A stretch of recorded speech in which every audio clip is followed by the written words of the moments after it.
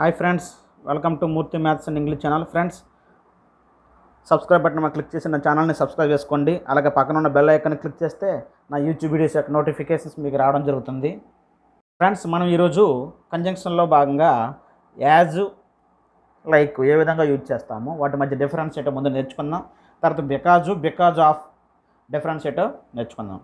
So ఇక్కడ as as మనం already subordinate కంజంక్షన్లో చెప్పుకోవడం జరిగింది. కాబట్టి యాజ్ని కంజంక్షన్ కింద ఉపయోగిస్తాము. నెక్స్ట్ యాజ్ ప్రిపోజన్ కింద కూడా పనిచేస్తుంది. యాజ్ కంజంక్షన్ కింద పనిచేస్తుంది. ప్రిపోజిషన్ కింద కూడా పనిచేస్తుంది. సో కంజంక్షన్ అనేసరికి ఏం రావాలి మనకి? యాజ్ తర్వాత సబ్జెక్ట్ వెర్బ్ కాంబినేషన్ రావాలి. ఎందుకంటే రెండు క్లాజులను జాయిన్ చేస్తారు కాబట్టి కంజంక్షను తప్పనిసరిగా అక్కడ సబ్జెక్ట్ వెర్బ్ కాంబినేషన్ ఉంటుంది. ముందు యాజ్ ఉంటుంది. ఓకేనా నెక్స్ట్ ప్రపోజన్ అనేసరికి ఏమొస్తుంది ప్రపోజిషన్ అంటే ప్రపోజన్ అంటే తప్పనిసరిగా అది ప్రపోజన్గా పనిచేస్తుందని దాని తర్వాత నౌన్ కానీ నౌన్ ఫ్రేజ్ కానీ ప్రొనౌన్ కానీ ఉండాలి. నౌన్ కానీ ప్రొనౌన్ కానీ నౌన్ ఫ్రేజ్ కానీ ఉండాలి. సో యాజ్ తర్వాత నౌన్ కానీ నౌన్ ఫ్రేజ్ కానీ ఉంటుంది. అప్పుడు ఇది ప్రపోజన్ కింద పనిచేస్తుంది. ఓకేనా? సో యాజ్ ప్రపోజన్గా పనిచేసినప్పుడు యాజ్ తర్వాత నౌన్ కానీ నౌన్ ఫ్రేజ్ కానీ ఉంటుంది. ఎందుకంటే ప్రిపోజిషన్ అంటే ప్రీ పొజిషన్. అంటే నౌన్ ముందు కానీ ప్రొనౌన్ ముందు కానీ నౌన్ ఫ్రేజ్ ముందు కానీ ఉంచబడేది ప్రిపోజిషను ఓకేనా చూద్దాం. He did as he promised he did as he promised ఇక్కడ అబ్జర్వ్ చేసినట్లయితే యాజ్ తర్వాత సబ్జెక్టు వెర్బ్ కాంబినేషన్లో ఉంది కాబట్టి ఇది ఇది కంజంక్షన్ కింద పనిచేసినట్టు. యాజ్ తర్వాత సబ్జెక్ట్ వెర్బ్ కాంబినేషన్ వస్తే ఇది కంజంక్షన్ కింద పనిచేస్తున్నట్టు. అయితే he did has he promised అంటే ఏంటంటే అతను ఏ ఏ ఏ విధంగా అయితే ప్రామిస్ చేశాడో ఆ విధంగా చేశాడు. అతను ప్రామిస్ చేసినట్టే అతను మాట ఇచ్చినట్టే చేశాడని అర్థం. ఓకేనా? అంటే in the same way that అనే మీనింగ్లో యాజ్ని ఇక్కడ ఉపయోగించడం జరుగుతుంది. అతను ఏ విధంగా మాట ఇచ్చాడో ఆ విధంగా చేశాడని. I did as my father advised I did as my father advised ఇక్కడ యాజ్ తర్వాత my father subject advised verb so subject verb combination నుండి యాజ్ తర్వాత ఉన్నప్పుడు యాజ్ అనేది కంజంక్షన్ కింద పనిచేస్తుంది. అయితే ఇక్కడ యాజ్ ఏ సందర్భంలో ఉపయోగించామంటే in the same way that అంటే మా ఫాదర్ ఏ విధంగా అయితే అడ్వైజ్ ఇచ్చాడో ఆ విధంగా నేను చేశాను అని. In the same way that అని మేనర్ ఆ విధంగా నేను చేశాను. మా ఫాదర్ ఏ విధంగా అయితే అడ్వైజ్ ఇచ్చాడో ఆ విధంగా నేను చేశాను అనే సందర్భంలో యాజ్ను ఉపయోగించాం. మరి యాజ్ దేని కింద ఉపయోగపడుతుంది? కంజంక్షన్ కింద ఉపయోగపడుతుంది. యాజ్ తర్వాత సబ్జెక్టు వెర్బ్ కాంబినేషన్ కాబట్టి కంజంక్షన్ కింద పనిచేస్తుంది అని అర్థం.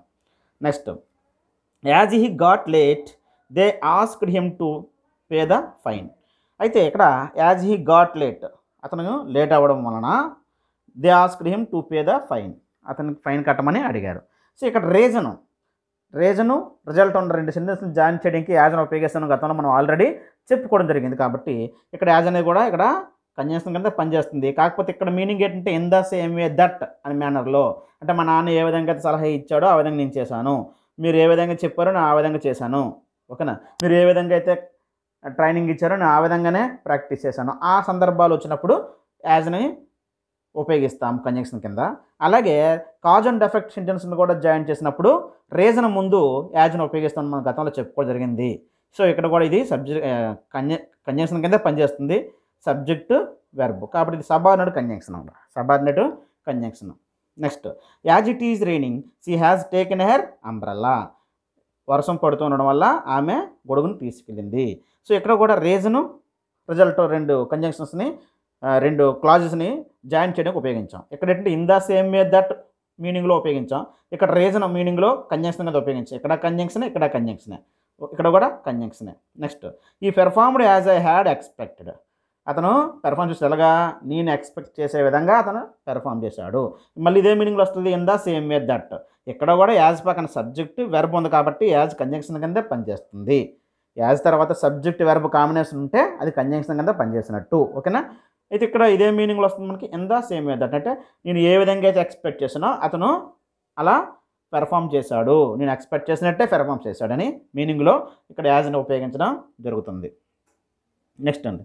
To talk about someone's job use of something అంటే ఇక్కడ రోల్ ఒక ప్లేస్ యొక్క కానీ వస్తువు యొక్క కానీ ఒక అదే పర్సన్ యొక్క కానీ రోల్ గురించి లేదా జాబ్ అతను చేస్తున్న జాబ్ గురించి కానీ లేదా దాన్ని ఏ విధంగా యూజ్ చేస్తానమో చెప్పినప్పుడు దాన్ని ఏ విధంగా యూజ్ చేస్తాను సంథింగ్ ఏదో దాన్ని యూజ్ ఆఫ్ సంథింగ్ ఒక దాని యొక్క యూజ్ గురించి చెప్పినప్పుడు యాజ్ అని ఉపయోగిస్తాం.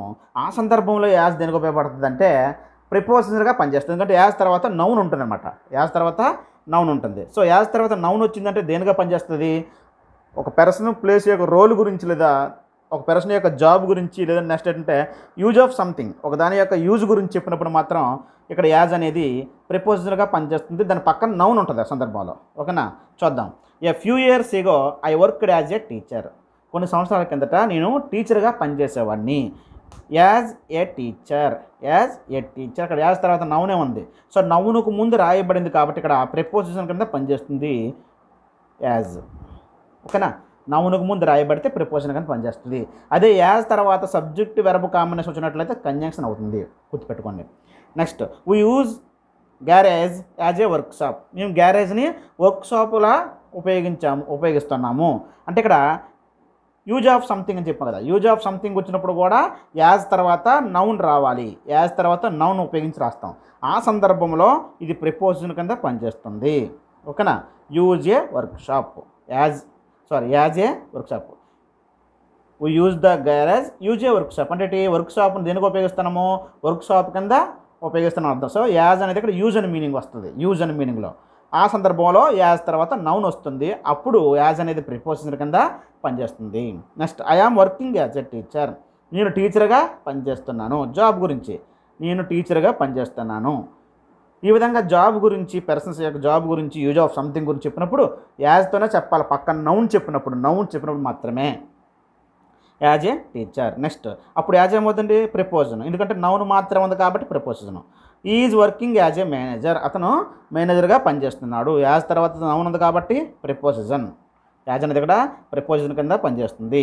I use one of the bedrooms in my house I use one of the bedrooms in my house as an office మా బెడ్రూమ్లో మా హౌస్లో ఉన్న అదే మా హౌస్లో ఉన్న బెడ్రూమ్స్ ఉన్నాయి. అందులో ఒక బెడ్రూమ్ని ఎలా ఉపయోగిస్తాము ఆఫీస్ కింద ఉపయోగిస్తామని అర్థం. సో యూజ్ ఆఫ్ సంథింగ్ కింద ఉపయోగించినప్పుడు యాజ్ తర్వాత నౌన్ రాసాము. కాబట్టి ఇది ప్రిపోజిషన్ కింద పనిచేస్తుంది. సో ఇక్కడ యాజ్ తర్వాత నౌన్ రాసామంటే రెండు సందర్భాలు.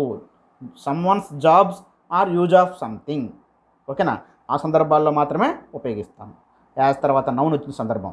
ఆ టైం సందర్భంలో యాజ్ అనేది ప్రిపోజిషన్ కింద పనిచేస్తుంది.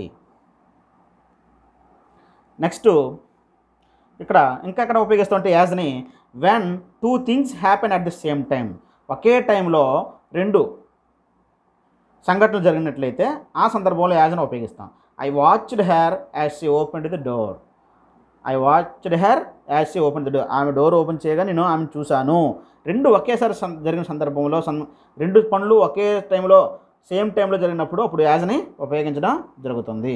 సో ఏదైనా యాజ్ తర్వాత ఇది కూడా క్లాజే సబ్జెక్ట్ వెర్బ్ ఇక్కడ కూడా కంజంక్షన్ కింద పనిచేస్తుంది. కాకపోతే సందర్భం ఏంటంటే ఒకే టైంలో రెండు యాక్షన్స్ జరిగినప్పుడు ఆ సందర్భంలో ఉపయోగిస్తామని అర్థం.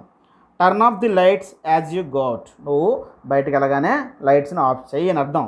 దాని అర్థం ఏంటంటే turn off the lights you go out రెండింటిని యాజ్ అండ్ కంజంక్షన్తో జాయిన్ చేయడం జరిగింది. కాబట్టి సందర్భం ఏంటి? When the things when two things happen at the same time then we use as ఓకేనా? కాబట్టి సబ్జెక్ట్ యాజ్ తర్వాత సబ్జెక్ట్ వెర్బ్ ఉంది కాబట్టి యాజ్ అనేది కంజంక్షన్ కింద పనిచేస్తుంది. కాబట్టి ఉపయోగించే సందర్భం అయితే అది. ఓకేనా? I watched him as he was driving the car నేను అతన్ని వాచ్ చేశాను. ఇప్పుడు అతను కారు డ్రైవ్ చేస్తుండగా ఓకేనా? సేమ్ టైంలోనే డ్రైవ్ చేస్తుండగా నేను వాచ్ చేస్తాను రెండు ఒకే టైంలో జరిగినట్టు. అలాంటి సందర్భంలో యాజ్తో మనము రెండు సెంటెన్స్లను జాయింట్ చేయడం జరుగుతుంది. ఈ సందర్భంలో కూడా యాజ్ని ఉపయోగిస్తాం ఇక్కడ కూడా యాజ్ కంజక్షన్ కింద ఉపయోగపడుతుంది. ఎందుకంటే యాజ్ తర్వాత సబ్జెక్ట్ వెర్బ్ ఉంది అంటే కంజక్షన్ కింద పనిచేసినట్టు గుర్తుపెట్టుకోండి. నెక్స్ట్ అండి. As I had reached home I took a bath నేను ఇంటికి రీచ్ అయిన తర్వాత బాత్ చేశాను. అవి ఒకే టైంలో జరిగిన కాదు. ఇంటికి రీచ్ అవ్వడం ముందు జరిగింది బాత్ చేయడం తర్వాత జరిగింది. ఒకే టైంలో జరిగితేనే యాజ్ను ఉపయోగిస్తాం. కాబట్టి ఇది వేరు వేరు టైంలో జరిగింది. ఇది ముందు జరిగింది తర్వాత జరిగింది కాబట్టి ఆ సందర్భంలో యాజన ఉపయోగించము. ఇక్కడ వెన్ పెడితే రైట్ అనమాట మనకి టెన్సెస్లో వస్తాయి ఇవన్నీ. తర్వాత చెప్పుకుందాం. When I had reached home I took a bath అనాలి తప్ప as I had reached home అనకూడదు ఒకే టైంలో జరిగిన పనుల గురించి చెప్పాలి తప్ప ముందు జరిగిన ముందు ఒక పని జరిగి ఆ తర్వాత ఇంకో పని జరిగితే మనము ఆ రెండింటిని యాజ్తో మనం జాయిన్ చేయకూడదు అనమాట ఓకేనా? నెక్స్ట్ ఇక్కడ కంప్లీటెడ్ యాక్షన్ ఒక ఒక పని ముందు కంప్లీట్ అవుద్ది. ఒక యాక్షన్ సారీ రెండు పనుల్లో ఒకటి కంప్లీట్ అయిపోద్ది ఇంకోటి ఆన్ ప్రాసెస్లో ఉంటుంది. ఒక పని కంప్లీట్ అయిపోద్ది ఇంకొక పని ఆన్ ప్రాసెస్లో ఉన్న సందర్భంలో కూడా యాజ్ను ఉపయోగిస్తాము. దే ఎంటర్డ్ వారు ఎంటర్ అయ్యారు యాజ్ వీ ఆర్ లీవింగ్ ఇంక మేము వెళ్తున్నాము వెళ్ళడం సిద్ధంగా వెళ్తున్నాము వాళ్ళు ఎంటర్ అయ్యారు. అలాగా ఒక పని కంప్లీట్ అయిపోయింది ఇంకో పని ప్రాసెస్లో ఉందని అర్థం. కంటిన్యూటీలో కనబడుతుంది. ప్రజెంట్ కంటిన్యూటీ కానీ పాస్ట్ కంటిన్యూటీ కానీ అలాంటి సందర్భంలో యాజ్ అని ఉపయోగిస్తాము.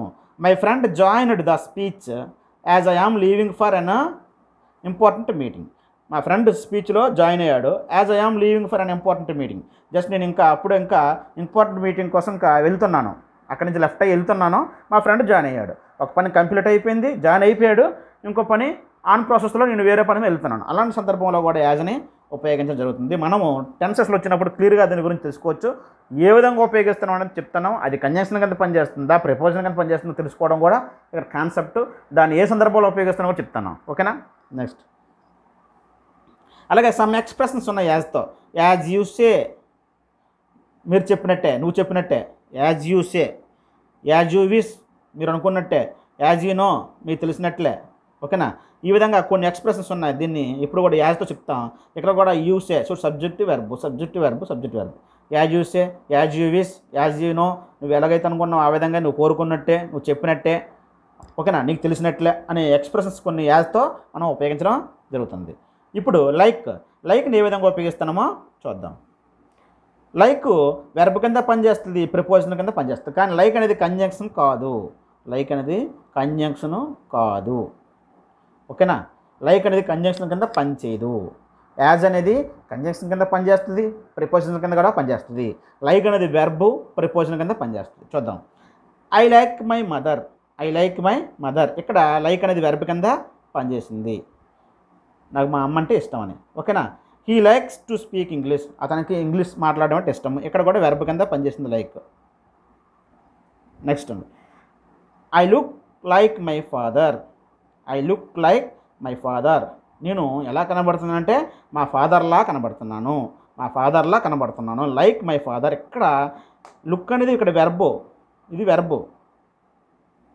ఇక్కడ లైక్ మై ఫాదర్ మా ఫాదర్లా కనబడుతున్నాను అంటే మై ఫాదర్ అని నవ్వును ముందు రాసాం కాబట్టి ఇదేమవుతుంది ఇక్కడ? ప్రిపోజిషన్ అవుతుంది. Next he looks like Chiranjeevi. He looks like Chiranjeevi. అతను చిరంజీవిలా కనబడుతున్నాడు. ఇక్కడ లుక్స్ అనేది మెయిన్ వెర్బు.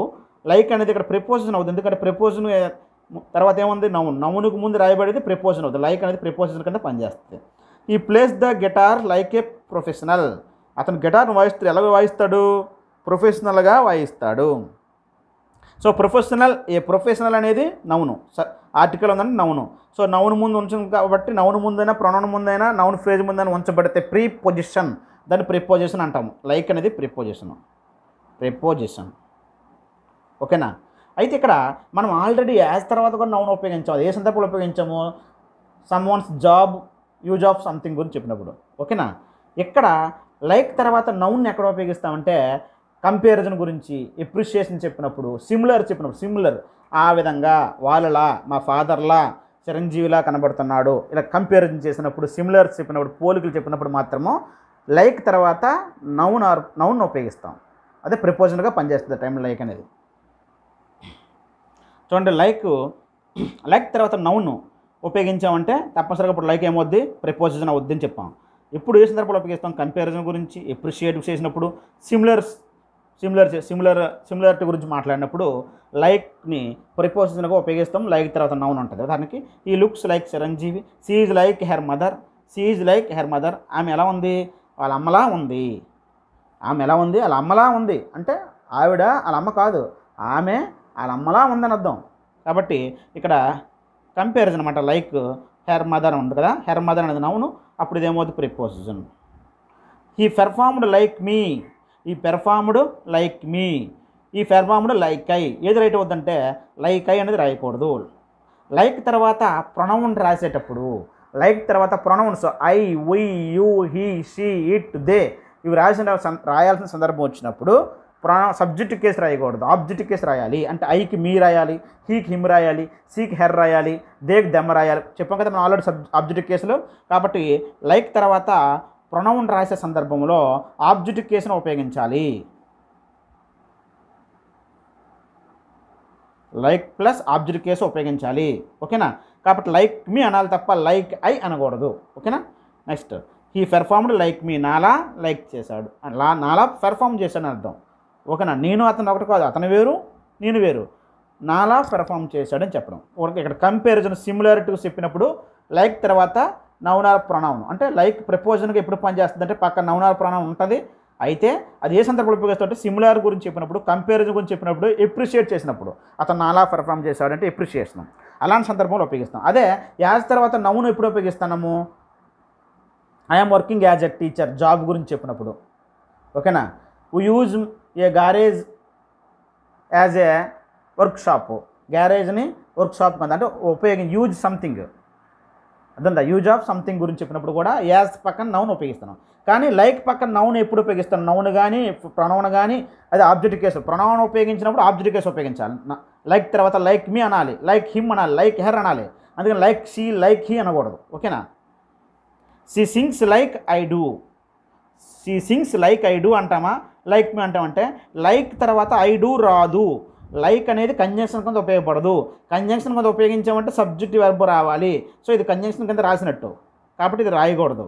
లైక్ తర్వాత ఆబ్జెక్ట్ కేస్ మీ రైట్ అనమాట ఓకేనా? అసలు లైక్ అనేది కంజంక్షన్ కింద ఉపయోగపడదు. కంజంక్షన్ కింద ఉపయోగపడ్డది అంటే పక్కన సబ్జెక్ట్ వెర్బ్ ఉన్నట్టు. కాబట్టి ఆ కాంబినేషన్ రాయకూడదు. సి సింగ్స్ లైక్ మీ నాలా? పాడుతుందని. It is almost like a tree but it is a actually artificial comparison it is almost like a tree అనాలి. It is almost as a tree అని కూడా. ఎందుకంటే it is actually artificial artificial ట్రీయే కానీ ఎలా ఉంది? Almost ట్రీ లాగా ఉంది. ఆ విధంగా కంపారిజన్ చేసినప్పుడు లైక్ని ఉపయోగించాలి. యాజ్ని ఉపయోగించకూడదు. యాజ్ని ఉపయోగించిన సందర్భాలు చెప్పాను. రోలో సబ్జెక్ట్ యొక్క కానీ అదే ఒక పెర్సన్ యొక్క కానీ ప్లేస్ యొక్క కానీ థింగ్ యొక్క కానీ రోల్ గురించి కానీ లేకపోతే జాబ్ గురించి కానీ యూజ్ ఆఫ్ సంథింగ్ గురించి చెప్పినప్పుడు మాత్రమే యాజ్ తర్వాత నౌన్ ఉపయోగిస్తుంది తప్ప మిగతా సందర్భాలలో లైక్ తర్వాత నౌన్ ఉపయోగించాలి. అదేంటంటే కంపారిజను డిప్రిషియేషను సిమిలర్ చెప్పినప్పుడు లైక్ తర్వాత నౌన్ ఆర్ ప్రొనౌన్ అదే ఆబ్జెక్ట్ కేసు అలాగే నౌన్ ఫ్రేజుల్ని నౌన్ ఫ్రేజ్ కూడా ఇక్కడ ఉపయోగించడం లేదు. లైక్ తర్వాత నౌన్ ఆర్ ప్రొనౌన్ ప్రొనౌన్ కూడా ఆబ్జెక్ట్ కేసే వస్తుంది. Next as plus subject clause plus verb మీకు ఆల్రెడీ చెప్పాను. యాజ్ తర్వాత సబ్జెక్ట్ కేసు వెర్బు కాంబినేషన్ వస్తుంది. లైక్ తర్వాత ఆబ్జెక్ట్ కేసు రావాలి. Is speaking as I speak is speaking as I speak నేను మాట్లాడినట్టు అతను మాట్లాడుతున్నాడు. ఓకేనా యాజ్ అ స్పీక్ ఇక్కడ యాజ్ తర్వాత సబ్జెక్ట్ వెర్బ్ ఇది right he speaking like me ఆబ్జెక్ట్గా చెప్పాలి తప్ప లైక్ ఐ స్పీక్ అనకూడదు తప్పు. ఎందుకంటే లైక్ తర్వాత సబ్జెక్ట్ వెర్బ్ కాంబినేషన్ రాదు లైక్ తర్వాత ఆబ్జెక్ట్ కేసు రాయాలి. Next he fought like tiger అతను టైగర్లా ఫైట్ చేస్తున్నాడు ఫైట్ చేశాడు. లైక్ టైగర్ లైక్ తర్వాత ఇక్కడ రాయొచ్చు. ఇది నౌనే ఒక్క ఆబ్జెక్ట్ కేసు రాసి ప్రొనౌన్ రాయాల్సిన సందర్భంలోనే ఆబ్జెక్ట్ కేసు రాయాలి. ఐ అని రాయకూడదు హీ అని రాయకూడదు సి అని రాయకూడదు. వాటి యొక్క ఆబ్జెక్ట్ కేసులు రాయాలి. కానీ మిగతా నౌన్స్ ఏమైనా రాయొచ్చు? లైక్ తర్వాత ఓకేనా he fought like tiger he fought as tiger fought he fought as tiger fought tiger fight చేసినట్లు అతను ఫైట్ చేశాడు. అంటే యాజ్ తర్వాత సబ్జెక్ట్ వెర్బ్ కాంబినేషన్లో రాయాలి. ఓకేనా ఇక్కడ ఇది ప్రిపోజన్ కింద పనిచేసింది. ఇది కంజంక్షన్ కింద పనిచేసింది సబ్జెక్ట్ వెర్బ్ కాబట్టి. ఇక్కడ దీని తర్వాత నౌన్ ఉంది కాబట్టి ఇది ప్రిపోజిషన్ కింద పనిచేసింది. ఈ సింగ్స్ యాజ్ ఐ డూ ఓకేనా ఈ సింగ్స్ యాజ్ ఐ డూ నేను చెప్పినట్లే. లేదా నా నేను పాడినట్టు అతను కూడా పాడాడు. ఈ సింగ్స్ లైక్ ఐ డూ ఇది తప్పు. ఎందుకంటే లైక్ తర్వాత సబ్జెక్ట్ వెర్బ్ కాంబినేషన్ రాదు. ఇది రైట్. యాజ్ తర్వాత సబ్జెక్ట్ వెర్బ్ కాంబినేషన్ వస్తుందని.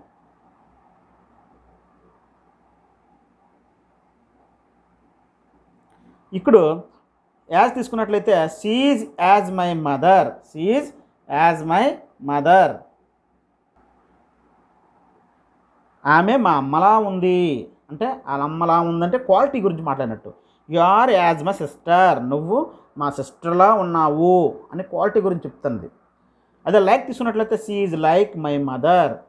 ఆమె మా అమ్మలా ఉంది. సారీ. సో ఆమె మా అమ్మ లాంటిది. సారీ. ఇప్పుడు ఏంటంటే సీజ్ లైక్ మై మదర్ అంటే మా అమ్మ లాంటిది. రిలేషన్ అనమాట. మా అమ్మ లాంటిది ఆమె. You are like my sister నువ్వు మా సిస్టర్ లాంటి దానివి అని లైక్ మీనింగ్ వస్తుంది ఇక్కడ నువ్వు మా సిస్టర్ లాంటి దానివి. అది ఇక్కడ ఏమొస్తుంది యాస్తో? నువ్వు మా సిస్టర్లా ఉన్నావు. అంటే వాళ్ళ సిస్టర్ లాంటి క్వాలిటీస్ ఉన్నట్టు మా సిస్టర్లా ఉన్నావు సేమ్ ఇక్కడేంటి నువ్వు మా సిస్టర్ లాంటి దానివి అని లైక్ అని మీనింగ్ వస్తుంది. ఓకేనా? యాజ్ అయితే నువ్వు మా సిస్టర్లా ఉన్నావు.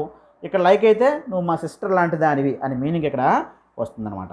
ఇక్కడ క్వాలిటీ గురించి ఇక్కడ రిలేషన్ గురించి.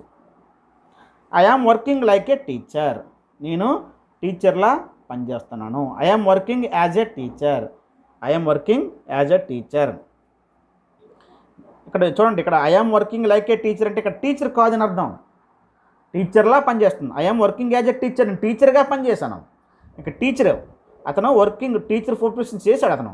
టీచర్ అతనే. ఇక్కడ టీచర్లా పనిచేశాడు. టీచర్ కాదు. లైక్ అంటే అది మీనింగ్. టీచర్లా పనిచేశాడు. ఇక్కడ టీచర్ అతను టీచర్గా పనిచేశాడు. టీచర్గా. అంటే అతను టీచర్ అనే ప్రొఫెషన్ చేశాడు. అతనే టీచర్ ఇక్కడ. ఆ వృత్తి చేసింది అతనే. ఇక్కడేంటి అతను ఎలా పనిచేశాడు? టీచర్లా చేశాడు కానీ అతను టీచర్ కాదని అర్థం. లైక్ అంటే. He performed like I had expected.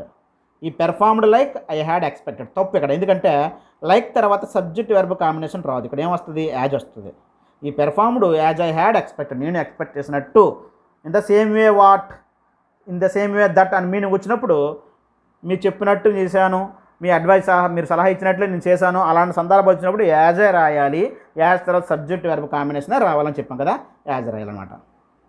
Next అండి బికాజు బికాజ్ ఆఫ్. ఇంతవరకు మనము యాజ్ లైక్ ఏ విధంగా ఉపయోగిస్తామో ఆ రెండు ప్రిపోజిషన్ లైక్ ప్రిపోజిషన్ ఎప్పుడు అవుద్ది అలాగే వెర్బ్ ఎప్పుడు అవుద్ది చెప్పాము అలాగే యాజ్ కంజంక్షన్ ఎప్పుడు అవుద్ది ప్రిపోజిషన్ ఎప్పుడు అవుద్ది చెప్పాము ఏ సందర్భంలో ఉపయోగిస్తాం కూడా చెప్పాం. ఇప్పుడు because because of. Because conjunction కానీ చెప్పుకున్నాం ఆల్రెడీ ఓకేనా? సబర్నడ్ కంజంక్షన్ అలాగే బికాజ్ తర్వాత కంజంక్షన్ అన్నమాట ఏమొస్తుంది? సబ్జెక్ట్ వెర్బ్ కాంబినేషన్ వస్తుంది. ఇది గుర్తుపెట్టుకోండి. బికాజ్ ఆఫ్ అంటే ప్రిపోజిషన్ బికాజ్ అనేది కంజంక్షన్ బికాజ్ ఆఫ్ అనేది preposition pre position pre position అంటే దీని ముందు నౌన్ ముందు కానీ ప్రొనౌన్ ముందు కానీ నౌన్ ఫ్రేజ్ ముందు కానీ ఉపయోగిస్తాం. సో బికాజ్ ఆఫ్ తర్వాత నౌన్ ఆర్ ప్రొనౌన్ లేదు నౌన్ ఫ్రేజ్ బికాజ్ ఆఫ్ తర్వాత. ఓకేనా చూడండి dash it was raining we cancel the picnic we cancelled the picnic training వర్షం పడుతుంది పిక్నిక్ క్యాన్సిల్ చేస్తాం. సో వర్షం పడడం వల్ల పిక్నిక్ క్యాన్సిల్ చేస్తాం. కాబట్టి ఇక్కడ subject verb combination next reason తెలియజేసింది కాబట్టి ఇక్కడ డేట్ ఉపయోగిస్తాం బికాజ్ రీజన్ తెలియజేసినప్పుడు ఆ రీజన్ ముందు బికాజ్ కానీ యాజ్ కానీ సిన్స్ కానీ ఉపయోగిస్తాం మనం చెప్పుకున్నాం గతంలో. అయితే ఇక్కడ బికాజ్ గురించి మాట్లాడుతున్నాం కాబట్టి బికాజ్ వాడతామా? బికాజ్ ఆఫ్ వాడతామంటే బికాజే వాడతాం. ఎందుకంటే సబ్జెక్ట్ వెర్బ్ ఉంది కాబట్టి కంజంక్షన్ ఉపయోగించాలా. బికాజ్ ఆఫ్ అనేది కంజంక్షన్ కాదు ప్రిపోజిషన్ ఓకేనా? Next dash the rain we cancel the picnic వర్షం వర్షము పిక్నిక్ క్యాన్ చేస్తాం. అంటే ఇక్కడ ఏంటుంది ఇక్కడ? డాష్ తర్వాత నౌనే ఉంది. సబ్జెక్ట్ వెర్బ్ కాంబినేషన్ లేదు. చూడండి ఇక్కడ కామాతో క్లోజ్ అయిపోయింది. అంటే ఇప్పుడు ఏం వాడాలి ఇక్కడ? బికాజ్ ఆఫ్ వాడాలి.